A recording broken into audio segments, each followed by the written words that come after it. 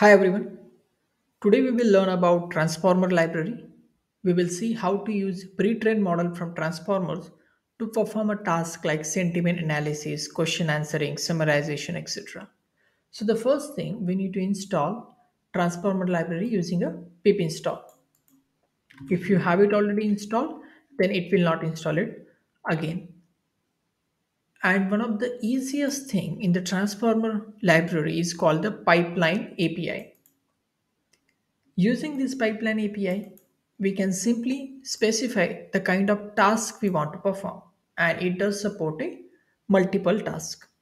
And we can go to the documentation and learn more about, you know, what kind of a different task it supports. But for now, let's think of, let's say we want to do a sentiment analysis. So in the pipeline, we can simply specify the task that we want to perform. And if you are on gpu you can uh, you know uh, put a gpu device id here it is a 0 if you don't specify it will run on a cpu and once you have the sentiment classifier from the pipeline you can pass a sentence and it can do a prediction on it.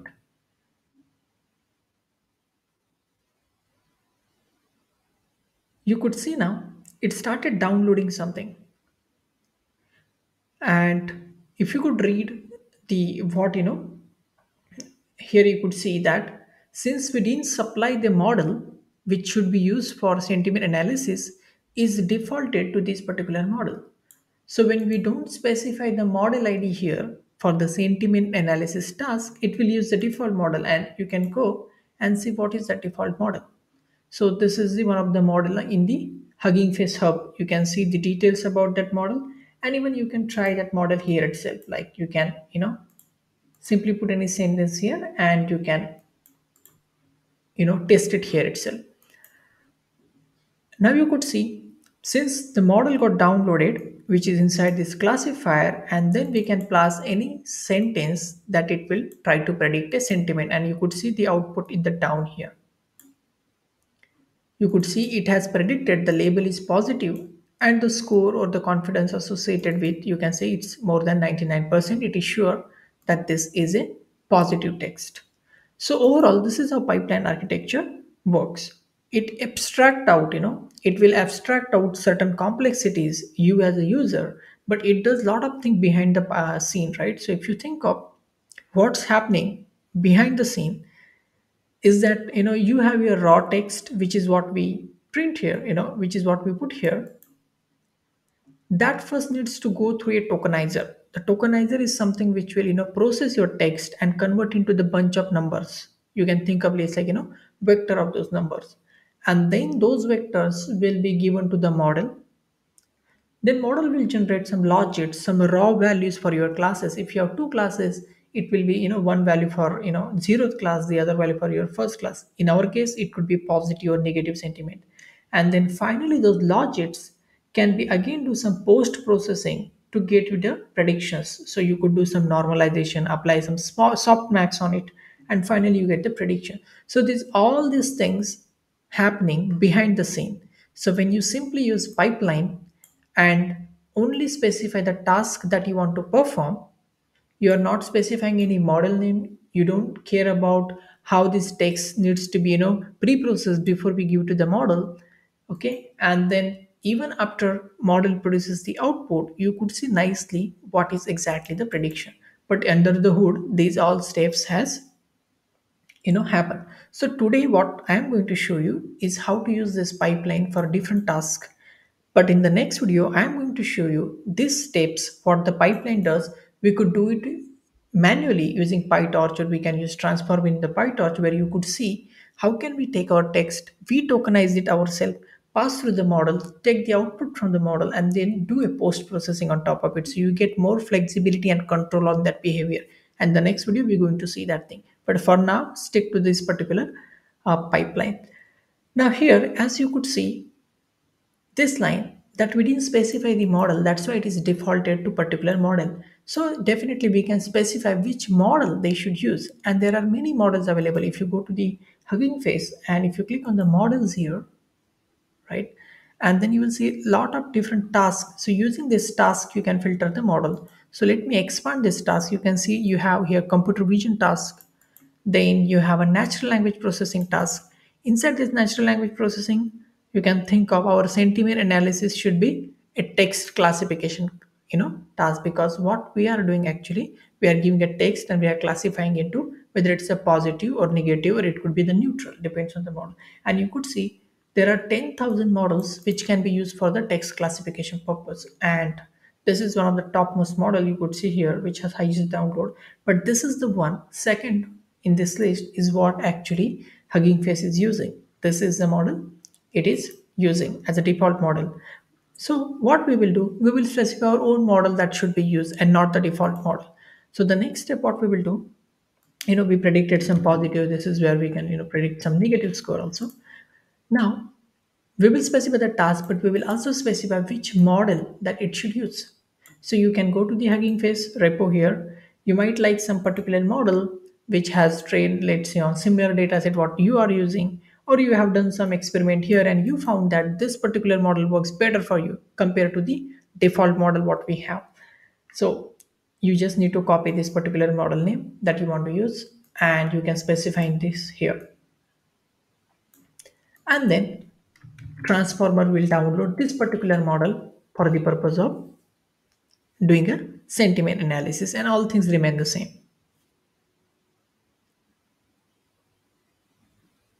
okay now you see the output is something different. When we use the default model it is used to predict something like negative or a positive with their score. But if you look at this particular output when we change the model which is here output is something labeled to then what is this label to which has some 97% probability or something like that? To understand that thing, we need to go to the place where we use that particular model. So let's go here and look at the model description. And in the model description, it says that actually the label 0 is actually negative, the label 1 is a neutral, and the label 2 is a positive. So what we got here? We got label 2, which seems to be positive. So and our sentence was also positive. So when you use any different model other than the default model, make sure you understand the, you know, uh, what those labels means here just like we gave a one example here we could give a list of example. We can do a batch prediction. We can do multiple examples right? You have to simply specify this multiple example. Again this pipeline architecture is taking care of all this processing and you are not worried about you know tokenizing it this all these things. And finally you could see now the prediction also we got a list a list of two prediction the first example we got label 2 which is positive. And the second we got the label 0 which seems to be a negative thing. So this is how you perform any task. And you can perform a many tasks right? As i told you you can go to simply let's go to the model section here. And you can perform any of the natural language processing tasks available here including question answering text summarization all of them. Today i'm going to show you some of them this particular task but the process remains the same. You come here you read about them and it should be easy. So let's focus on the next task so we saw sentiment analysis now let's say how do we do question answering task so the question answering task here, again you change the task name. We are putting device as zero because we are using GPU. If you don't know how to, uh, you know, in Colab, you have to go to the runtime and you can check, you know, change runtime and you could see you have your GPU, TPU or even none, which is the CPU. Currently I have selected the GPU option, right? That is the reason I'm able to pass this device is equal to zero here.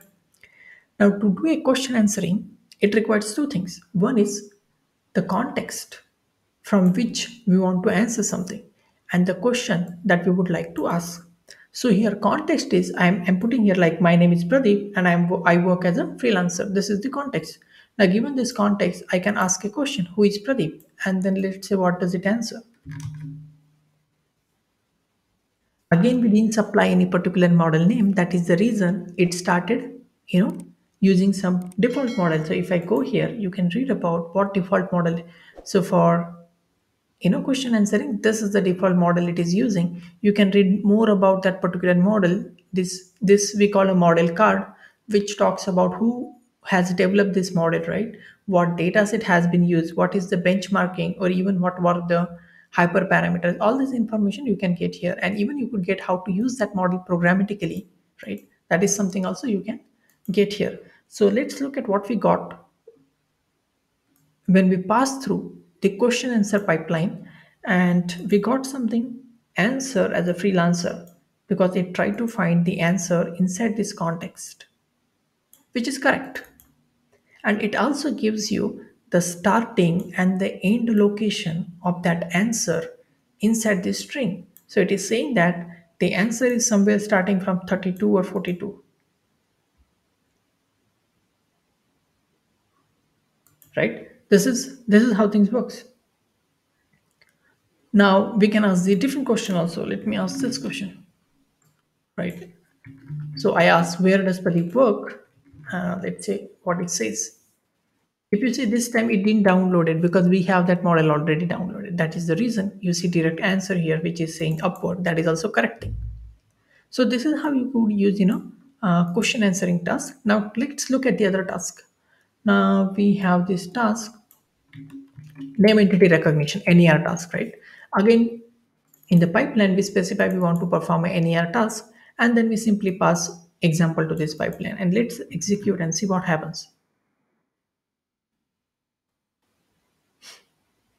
Okay you could see an output here and you could see it has predicted certain word as a person. This stands for inside person a you know the way notation of entity work but you can think of whatever it has predicted it says it is a person. It is a person and you see multiple things. Why? Because this name got broken into the multiple tokens and that is why for each token it is predicting that this seems to be a person entity. This seems to be a organization entity. But this is difficult to read, and we know that these multiple tokens are actually belong to just one entity. So what we can do, we can set this another parameter called the aggregation strategy. It's simple. You can read more about if you search this pipeline NER on the base. In simply what it does, it actually going to aggregate those multiple tokens and which is we know that is a single entity. Let's see what is the result here.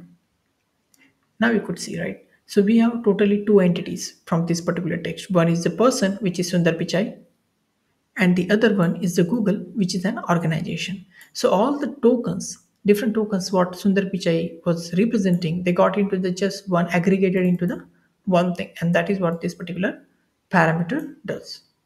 Let's move on to our next task called a summarization task.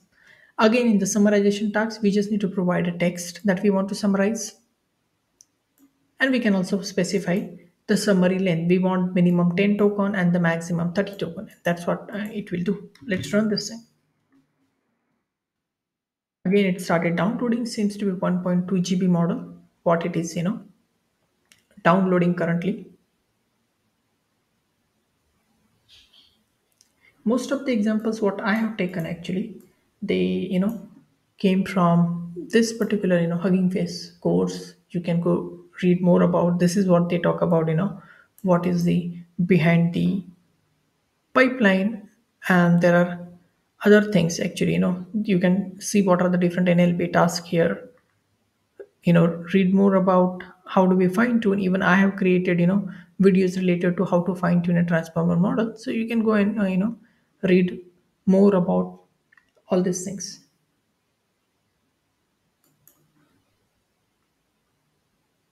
Let me see whether it got downloaded or not. Yes, it got downloaded.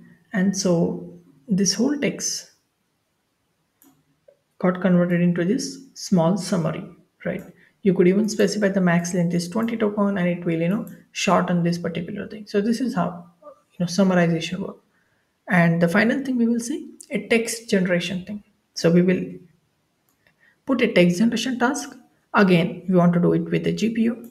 And in the text generation, we have this generator, right, which is nothing but this pipeline instance with this particular task. We just start with something. So we say that in this course, we will teach you how to, and let's see what model completes this particular sentence. And that's what the text generation task means. And we will also see which is the default model for this thing you could say the default model for this is the GPT-2.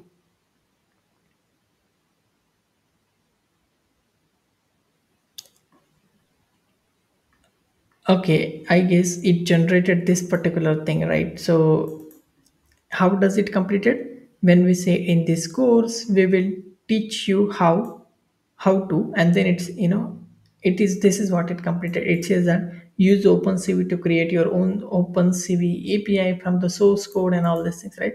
So you could do anything. You might want to you know write a blog post. You can just simply start with the theme of your blog and the text generation will you know take care of it it will start creating the content. So these are the tasks uh, you know that there are multiple tasks right? We saw there are many tasks. You you can go and try those couple of tasks. You can see for each task which is the popular model. Go read about that particular model. Try that model on the hugging face hub itself as i told you right? Once you go to that particular model in the right side you can perform some operation on that particular model and you can even read about the details of the task or the model. So this is what I wanted to show you today. The next video, as I mentioned, we're going to see how do we perform this task, tokenizing, model and post-processing ourselves rather than using these pipeline models. We're going to see how the transformer we can use into the PyTorch so that we can perform those tasks and have much more flexibility uh, on this thing. Okay, I have actually put all the videos that what I have created inside this playlist NLP beginner to advanced and you could see from building your first model to even the fine tuning transformer. So here we have you know made a video of how to fine tune but I haven't created video that how to use this pre-trained model. That is the reason today I created this video that you know how to actually use this pre-trained model. And how to fine tune is that that I have already made a video that you can you know um, go and watch. So i am going to create some two three videos inside this middle so that you know uh, you, we get some continuous flow up videos. So if you want to start with nlp it will be good thing for you to continuously follow this thing. And by the time you reach here you have all the skills to build and deploy those particular models. And again if you haven't subscribed to my channel please do subscribe. Thank you